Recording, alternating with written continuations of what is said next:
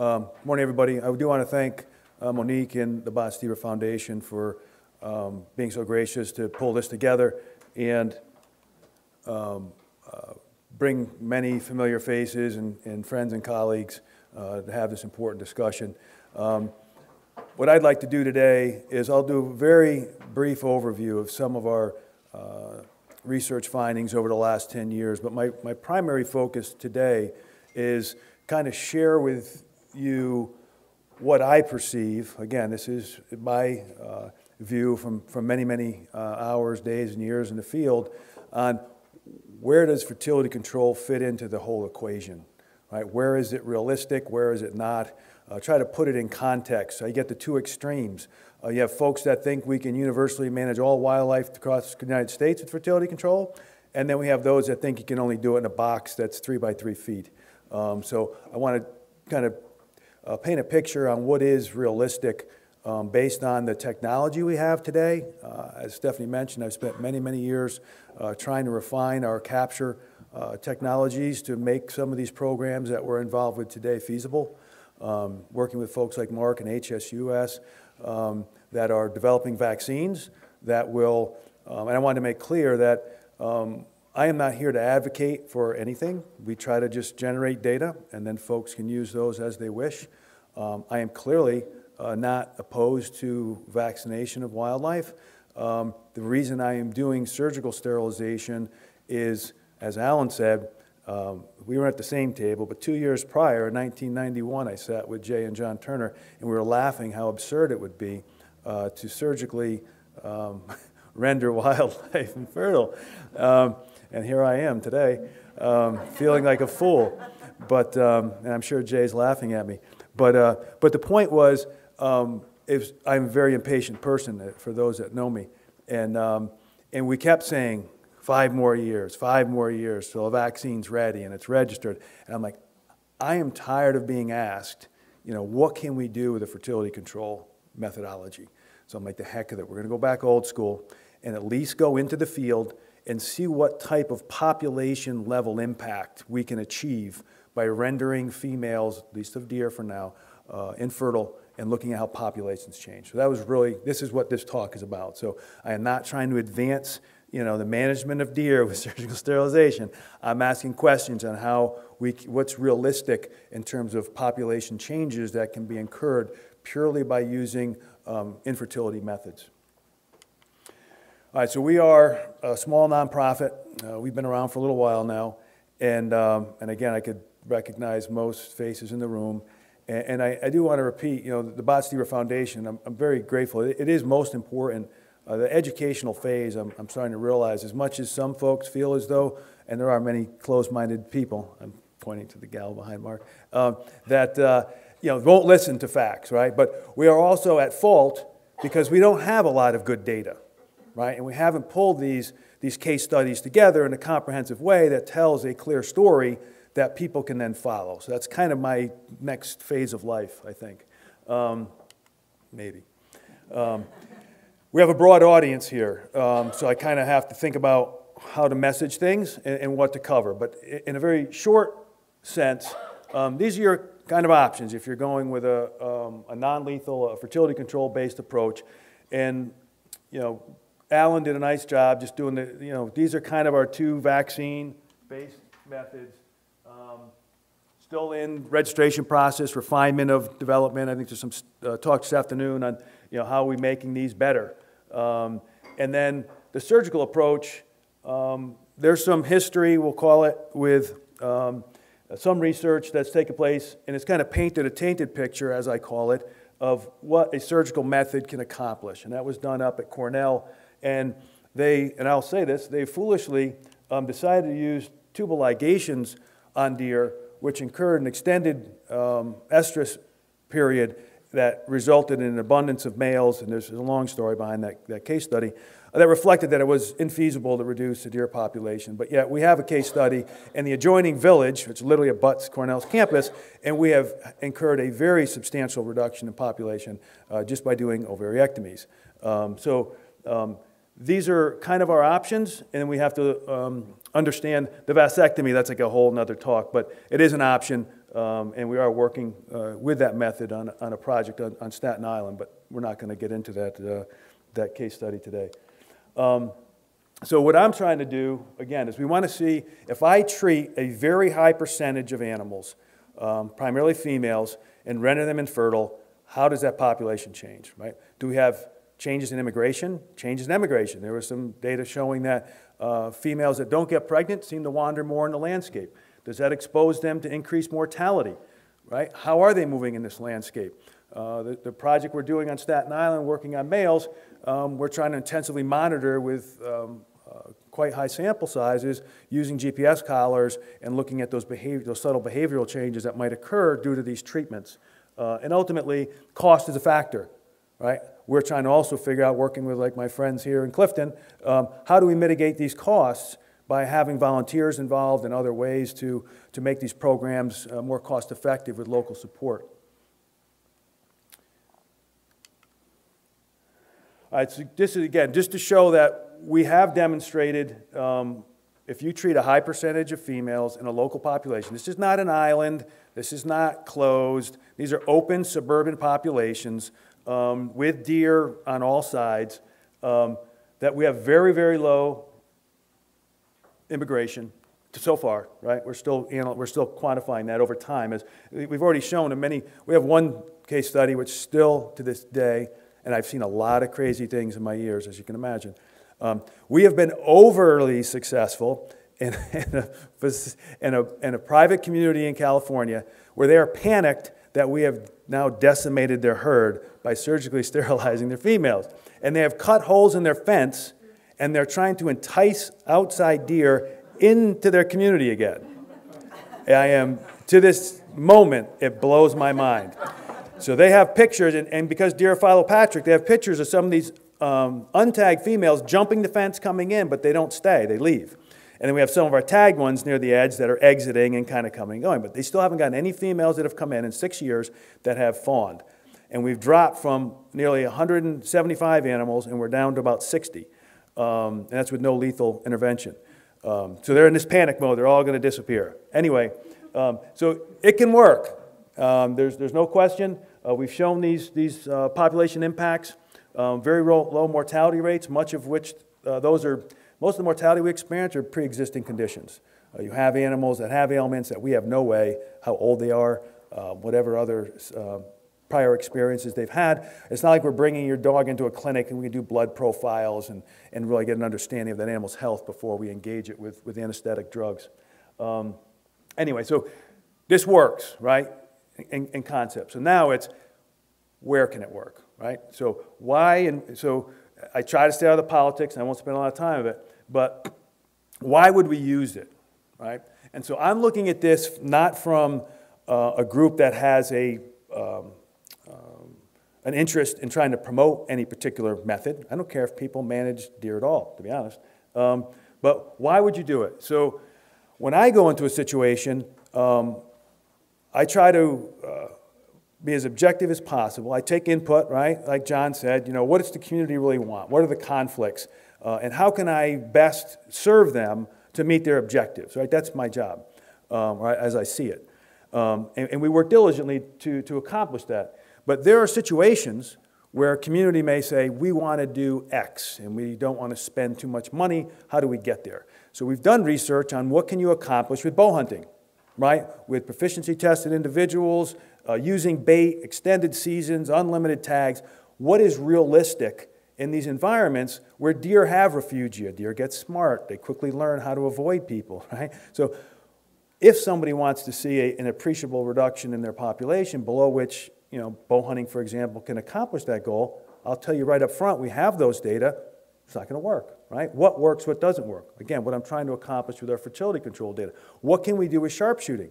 I've been in environments, and we're pretty creative, um, but ultimately, we have to have a degree of discretion no matter what I'm doing, whether I have a dart gun out in the field, um, whether you have a, um, uh, you're carrying a deer on a stretcher, you still have to appreciate how the public is viewing that, right? And so we have to have some discretion. So, you know, how visible would a lethal program be?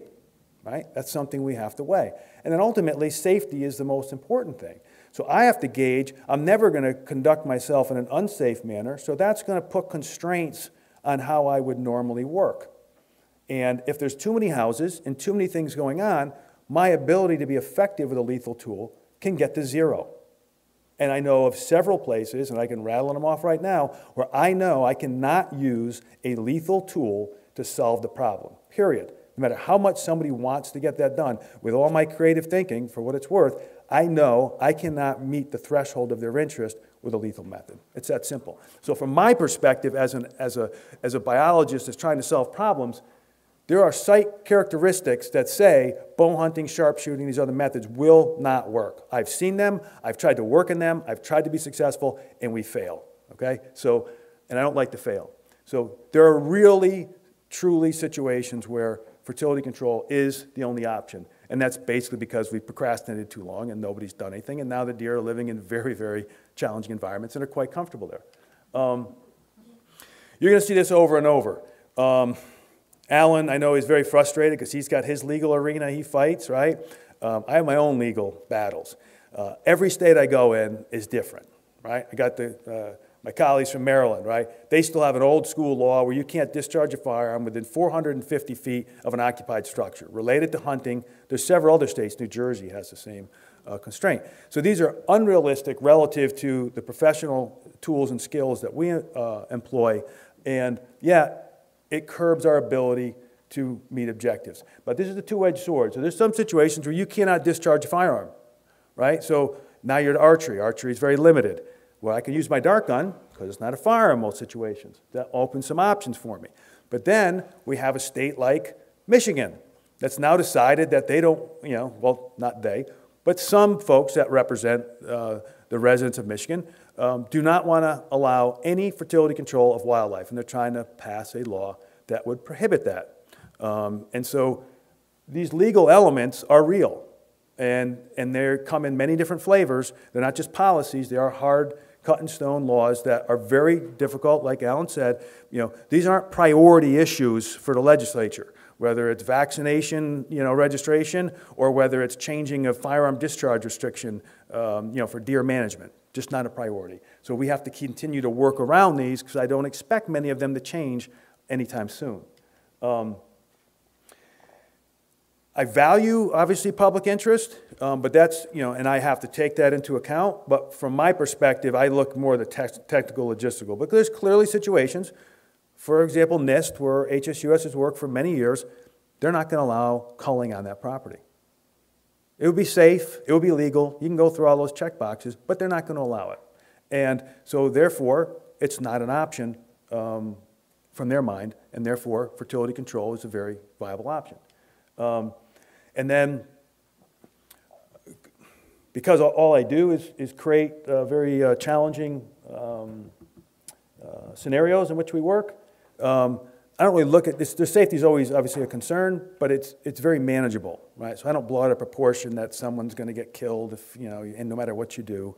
Um, but there's situations where those safety concerns, as I said earlier, restrict our ability to use lethal methods to the point where I can go out with a dart gun, I can drive around roads at night and discharge a dart gun with no risk to the public, right? I can't do that with a firearm. Um, there's some redundancy uh, in, in, these sequences, but you'll see these patterns, which is legal stuff, right? It drives me nuts, right? So you have legal issues continually come up, but the site characteristics are always um, a huge issue. And then the, um, I used acceptance here, but it's, it's more a matter of um, how does the public view this, right? So now um, we have hunters that still, amazingly to me, find fertility control threatening uh, to their form of recreation. Can't even comprehend it. Um, the scope and scale of which we've done research and management projects for the last 30 years is so absurdly small, uh, but yet it elicits an immense um, averse reaction, uh, like in Michigan, where someone's going to take the effort and time of the legislature to try to pass a bill that would prevent you from doing fertility control. Economics prevents that. There's many other factors. Our technologies, right? We're already hamstrung so severely. You don't need a law that specifically outlaws it.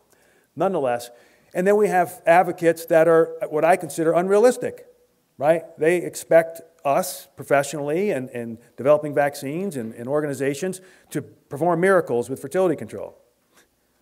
We're just not there yet, right? So we have push from that fact, from those groups.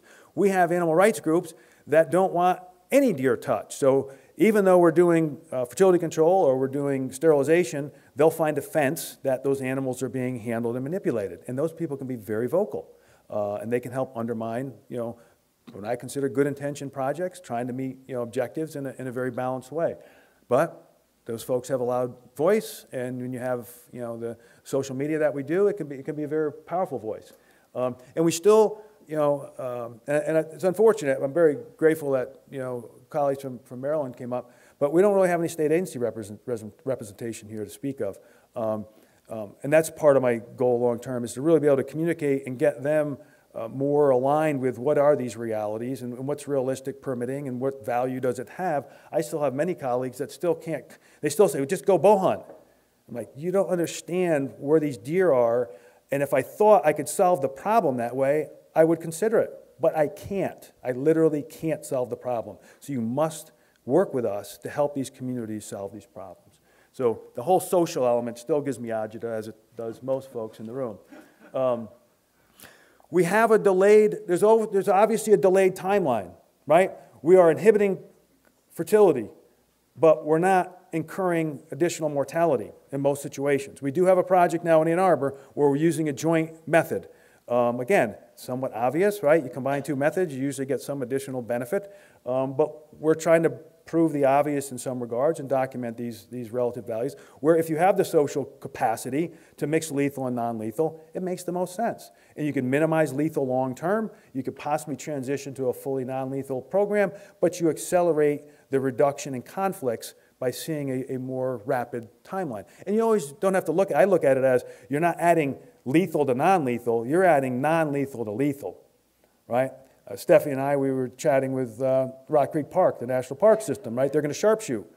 Well, why not add fertility control? Because it can enhance your ability to impact that population and possibly reduce your long term costs and associated um, management needs by having continued culling, right? So it's not always we're trying to lessen non lethal, we're trying to supplement and I think complement some of the lethal tools that, that might be presently used. Um, Cost is always an any issue, right? It's, it's a reality, whether it's how much effort and time it takes to produ produce these vaccines, which is a big part of why things move slowly. Uh, we're not talking tens of thousands of dollars, you're talking millions of dollars to develop these technologies. Um, and that's spread over a long time period. And we're dealing often with deer, which reproduce once a year, so your data cycles are very protracted. Um, in the field, it takes a ton of work. Don't get me wrong, I would far rather dart a deer remotely with a vaccine than dart a deer, carry the son of a gun, especially Ohio deer, carry those sons of guns up steep terrain, and then do surgery on them and release them. Right? So I very much would like to see a lower cost, easier solution that we can all gravitate towards, which is, again, another benefit of having a conference that pulls these discussions forward. Um, and then, for example, in Pennsylvania, they will not allow you to use fertility control as a sole method of management because their thought is, and there's some merit to it, um, that then you're managing by deer vehicle collision. Right? You may eliminate reproduction, but those populations only get decline because they're getting hit by cars. They die of other things. But so therefore it's not reasonable. But then I would argue is, well, then if they do nothing, then you perpetuate high levels of DVCs and they never decline. But you can get any circular arguments all you want. Um, and the next question is, and, and, Alan published on it with Rick, on um, you know, are we impacting deer vehicle collisions via these treatments? Right? Are we causing them to increase based on the behavioral changes that we might incur with vaccination or surgery? So those questions are still being answered that I'm interested in. And in particular, for example, on Staten Island, um, that's one of the big questions is if, if we vasectomize males and they are uh, ineffectively breeding females, and those females don't get pregnant, they're going to come in estrogen, similar to a PZP type treatment. And does that increase the rate of deer vehicle collisions during you know, the post normal breeding season? And so we're trying to quantify those. Are these males moving more? Do they, um, just based on these females in estrus, does the other um, factors, which is basically daylight that cuts down testosterone, reduce movement? So we're trying to intensively monitor uh, males in that environment we have, we got some amazing data, um, just got to get them analyzed, but, you know, that's one of those pesky details. Um, uh, and so, and this is back to, and I really wanted to bring this up, because sometimes I feel as though, um, and, and I want us to work as a community towards solving problems, right? So it's not an us versus them. There, there are which method is best, and it's, there's no best method. It's what is the situation you're in. Fire Island was perfect. Super approachable deer, right? You can hit them with blowpipes, identify them individually by markings. You use a vaccine, kind of a no-brainer, right? Um, there's other situations um, where it's much more complicated. And as Alan got to, and I'm going to pick his brain at lunch, because um, I can never really stay on top of what's happening in Mark as well, Mark Fraker, you know, they're trying to get these vaccines registered and what's really happening. You know, we got this federal level, the state level. Where are we in this process? What can we really do? It's still not really, I don't feel cut and dry. That's why I'm actually excited about this afternoon's talk and cornering Alan when I get a chance. Um, but so right now, you can't use a vaccine unless it's presently registered, which is ZonaStat and, and Gonacon uh, in New Jersey and Maryland, because they allow management of deer, and then those are registered agents to use it. But that's it. You got 48 other states, right? You've got a lot of other constraints. So do we have to do everything still under the guise of research? Um, which is so actually Maryland's probably one of the most progressive states because they will actually allow you to manage deer, manage deer with fertility control, right? Um, so those legal elements are still in play. Um, it's far easier for me just to get a permit from the state wildlife, not in every state, but get a permit from the state wildlife agency and do a surgery than it is to get permission to use a vaccine for doing the same type of population level research. Um, I'm going to get into this one. This is really, you're all probably going to look at me like I'm crazy when I get there, but hopefully I can explain to you what kind of spins in my head all the time um, within a 30 minute time period. Um, what is site suitability? It's hard um, because I've worked in so many areas with so many different subtleties about road density, lot size, deer approachability, all these things. There is a clear, at this point, um, it's, a, it's kind of a, an intuition um, when I look at something on Google Earth and I go, that one's pretty easy. And I look at that one, I go, that's to be a nightmare, right? Um, and it's, it's trying to share that with others so that they don't go, I'm a suburban community, therefore I can use fertility control. I was like, no, it's not that straightforward. If you want to be successful, there's some very detail level elements that I, I will uh, I'll get into. I'm trying to watch my own time here so I don't overwhelm you. Um, the general rule, um, we published on this probably three or four years ago, um, is if your site suitability is challenging and your deer aren't so approachable, they're not what I, I always refer to Fire Island deer, um, you're going to lean towards a permanent approach, right? Surgical sterilization right now in some of these situations is still by far the most cost-effective long-term method. If you have deer that are easily approachable, um, mostly via vehicle, um, and they're relatively, uh, we'll call it, I used to use a tame or, or um, in, in, a way that you can treat them, what I call treat them or engage them, and the next day they're not that much worse for wear. Some deer, you have one engagement with them, you may never see them again, right? So if we have deer that are on that spooky side, you want to get a dart in them once and you never want to see them again because you may not. You're not going to have that opportunity to give a second injection with a vaccine that would allow you to maintain infertility in that individual. Um, and then effectiveness. We're on a small scale. Right? In theory, if we have a competent vet, um, you're going to have 100% effectiveness with a surgical approach. Our vaccines still vary between 85 95%. Um, you know, we have some areas where you could treat, like good friends in, in Clifton, you can treat 90% of your females, but your mortality rates are so low, you don't see a precipitous decline, right? So if we had a vaccine that were much reduced in effectiveness, you may see zero effect, even if you have 85 or 90% of your females treated, right? So those are real considerations on which method you're going to use based on that specific location. Um, and, and, deer behavior, like I said, always ties back in with sight. I mean, that, that is, just because you come home at night and the deer stands in your driveway and doesn't get out of your way, doesn't mean that I'm going to be able to dart 100% of them. That I can tell you. Um, and, and this is kind of where I want to wrap up is where can we realistically do this? All right. Um, how big? Big is one relative component of it. Big is cost, right? Not always, right? Because one of the weirdest, one of the weirdest sites I've ever been to is Fairfax uh, City, Virginia. You look at Fairfax City, Virginia on Google Earth, you're going to swear there's going to be 600 deer in that six square miles. Because I know in the parks adjoining we have 100 deer per square mile. I know a lot of those communities have a tremendous abundance. And Fairfax City, they have 15 deer per square mile. It is still the biggest mystery on this planet, as far as I'm concerned. And I have not solved it yet. But nonetheless, um, that's six square miles. Pretty big, pretty challenging. But at 15 deer per square mile, you don't have to handle a large volume of deer. We have not seen immigration. We've seen substantial population reduction. We're down to six deer per square mile. You can't imagine. You can't find deer there. We will drive with three vehicles for nine hours a night, and you'll see two deer. Right? Very challenging. So scope isn't so important. We're presently working on Staten Island, which is 60 square miles. Some days I think I'm crazy, and some days I think I have it under control, and it kind of goes back and forth. That's the bipolar aspect of it. Um, road network is critical, and I, don't mean to demean the Fire Island. The Fire Island's like the, just the case study, right? It's always been out there. You know, that's like the Twilight Zone. Lovely place, but Twilight Zone. Um, you got to have roads. You've got to be able to efficiently get to deer. And in areas where deer are used to cars, which is suburbia, right?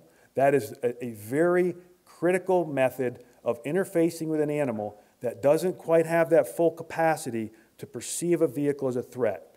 And that vehicle it sees every day by the thousands. So it would be running itself crazy if it's every time it saw a deer, it had a flight response. So they have to become immune to that, and I take advantage of that. Very, very critical. More roads, more densely roaded, the more I can interface with those deer, and the more rapidly I can get to them, whether I'm just capturing or whether I have to capture, transport, and actually do a procedure. Um, scope, budget, right? So if you looked at Staten Island, we have an almost unimaginable budget uh, for that project. But you have to. You got 60 square miles. It's just insanity. Um, but you could take that budget and go fivefold what we're doing right now. And if we were pursuing females, it would not succeed. The road network there and the development pattern is such, for those of you that have had the, the opportunity to visit Staten Island, and I do recommend you go if you have some chance. Um, there's parks and then there's concrete. That's Staten Island, right? Manhattan's concrete. There's a mix. And so those deer are very hard to get to because I could only get along the edges. And some of these parks are 600 acres, 1,000 acres. They're big blocks. So I don't have that vehicle network. And I have to systematically bait those animals and bring them in and try to dart them. If we had to do all the females that way, you would never get enough females to be successful. And that's, as a sidelight, that's why we're doing males in that circumstance for a multitude of reasons. But Budget's not always the solution, right? There are some other factors that come into play. You can dump as much money as you want, it just will not be feasible. Um, and then there's my favorite again. Um, you know, how do, how do we work around um, uh, some of these particular constraints? My favorite one, and I saw a strong uh, visitation from New Jersey. Um, they interpret their community based deer management um, regulations to say that whatever you're doing underneath one of their permits, you have to have written permission from every affected, is the word, affected landowner. So if I dart a deer on your property and it runs two doors down and goes to sleep, I would have had to have in advance written permission to retrieve that deer even if I'm not doing surgery, even if I'm vaccinating it, just to get to that deer, give it an injection of vaccine and carry on. So they kind of came up with an arbitrary 2,000 foot discharge restriction where if you're going to dart somewhere, you need written permission from everyone within 2,000 feet in case that deer happens to fall on their, on their backyard. Game's over. You're not doing fertility control in New Jersey. Not going to happen. So until somebody changes that, and I've already, it's been 11 years, we wrote language that no one has taken the initiative to submit to the state to get an exemption for fertility control for this affected landowner, right? The premise behind it was you're not going to go out and bow hunt or sharpshoot on somebody's property without their permission. No one's really thinking about if you're capturing deer in a suburban environment. But nobody, again, collectively, you know, I've worked with Princeton, I've worked with other communities there. Somebody needs to change that. Or in New Jersey, legal restriction, you're not doing fertility control. Pennsylvania is a policy issue. There's not a restriction in Pennsylvania, it's a policy issue around whether you're managing um, with fertility control or whether, you know, as a, at a high level versus a maintenance. So you're trying to reduce with fertility control, they don't allow as of now. But if you're maintaining a population with fertility control where DVCs aren't your source of population reduction, they would consider it. Um, anyway, so that's a big uh, factor there that we're dealing with. So let me, and deer behavior, I don't even get into that anymore because they just rule my life. Um, this is what I want to spend a little time on before I get shut down. All right, this is, this is the village of Cayuga Heights. This is right next to um, Cornell's campus. Uh, this is a portion of the community. Um, if you look, a lot of roads. This is an elementary school. We can drive through here. There's a little block of woods here. But these deer can't be anywhere where I can't find them. Or if I see them back in here, I got a radio collar on one and there's four others in the group. As soon as I see them walk in a direction, I just sit here. And as soon as they go to cross the road, I just happen to be driving by. I stop. And those deer, and I'm riding with a police officer, those deer have no concept of what's going on. Stop the car, dart an animal, and I'll usually dart all of them. Um, but so in this situation, very doable. We captured every female in two square miles here in 10 days, uh, 137 females. Um, so we can go through animals fast if I have this. Now, this, I almost got a little too confident on, I will admit. Um, this is East Hampton, um, New York. These are, all three of these are the same scale uh, on Google Earth, just so you can appreciate. Look at these lots quite a few roads, you know, it looks kind of reasonably accessible. But these are, some of these are like three, four, five acres. That's probably 200 yards in between those roads. There's a lot of turf in there where a deer could be for a lot of hours at night, where I might see them with a spotlight behind the house. I can't get to them. And there's not enough roads. You need like two more roads in here, right? Because then if they don't move much, that'll be my new plan for East Hampton. Um, um, add more roads. Um, but the likelihood of these deer crossing that road and then being able to time it is very challenging. Right? For you sitting in a room right now watching this presentation, that means nothing. But when I'm out at 4 in the morning, and I've been doing this week after week, apologize, um, watching a stupid deer in the middle of that backyard every night, I'll pull my hair out. I can't get to them, right? And then, if there's enough of them, and there's about 100 deer per square mile in East Hampton, they get a little smart, and you lose that one opportunity that took you four nights to get you will never get that opportunity again. And now that deer has two fawns next year, right? And so I lose sleep over these. And then there's my friends from Cincinnati. Um, this is them. Uh, this is Mount Storm Park. Now, I'll get into a little bit. But you can see now we have a large block. So what I get is a lot of people that come to me and go, we got a park, you know, it's perfect, the deer friendly. I'm like, how big is the park? And are there a lot of roads in it? Because if there's not, this is a nightmare. Um, not quite a nightmare, but it gives me agita. Um, so here it is. Here's blown up further, okay? I want you to really appreciate this is Cayuga, village of Cayuga. It's up near Ithaca, New York. Um, so this is, uh, this is the elementary school. Um, this is kind of their town center. There's a uh, uh, old folks home up here. I'm about ready. I can almost join that. Um, there's a couple stretches here, a little bit of, of broader um, landscape, but this is all barren woods, really steep hillside. Deer rarely over here. Um, I know every deer in that community. And I know when a face shows up, I know who they are. I could find them. I could work to that thing. Not easy, but it's very, very feasible. Um, here's East Hampton, right? This, very doable. All deer in this neighborhood? Poof, done, no sweat. That was easy.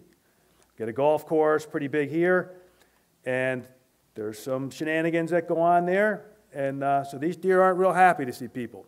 Um, And then you've got these bigger lots here. And so you really, when you look at your community, this is a scale, the 500 scale on Google. Um, look at your map before you start getting excited on whether you could do this or not. If you have this, yeesh. Um, if you have this, piece of cake. Right? It is that subtle. And then how many big parks, like most golf courses, you can walk out there and dart deer. These folks here do a little, we'll call it uh, uh, selective removal uh, illegally that uh, makes deer smart. Um, and then here's Clifton. So if you look here, this is awesome, right? These deer here are easy. Um, here, when I first got there, I could walk, park the truck up here, I could walk down the hill, the deer are out grazing like cattle. I just walk in my dark at night and I would shoot them. Boom, boom, boom, boom. And bring them in, do surgery, um, everything's great. But there were a lot of deer. So by the time I got through all those deer, and we would bait and sit over dark sites, you know, so we, we've got 91% of the females captured here, which is great, but it's not 100%. And there's still a group that gives me agita, and that's my favorite word, that lives in his area. They come to bait every once in a while when they feel like it at 3 in the morning. It gives Lori fits because they won't come like most deer every afternoon at 5 o'clock, and we sit there and we dart them and we carry on. So it doesn't take many of those in a situation like this to undermine your ability to really see a population decline, particularly here. This is a pretty benign environment. Our deer vehicle collisions are very small. It's not like some areas where our mortality rates are higher and you can see these more rapid population declines. So again, um, as we do more and more case studies, this seems like it would be a great area. It's not that big. We're only dealing with a square mile. So we're coming over here on the east side. We come across the south. And so it's not that big. It's just this. So I got to keep, you know, we keep working on how do we outsmart those last ones, and can you outsmart them fast enough where they're not having enough fawns, where the fawns come up and I can't get to them before I start shutting that group down.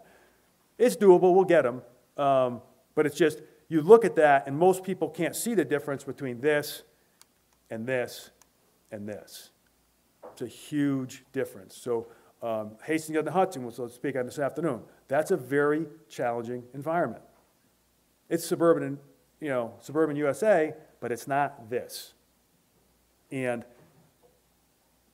this is kind of really what would make us most successful. And then we can, there's some other elements, right? The approachability factor. There's some other components, but this is about the extent you want to get. You don't want some big park. We have a big park. I'm like, I don't want a big park. Don't say big park. Say I got them all in the neighborhood because then I can get the job done. Um, anyway, hopefully that was a little enlightening.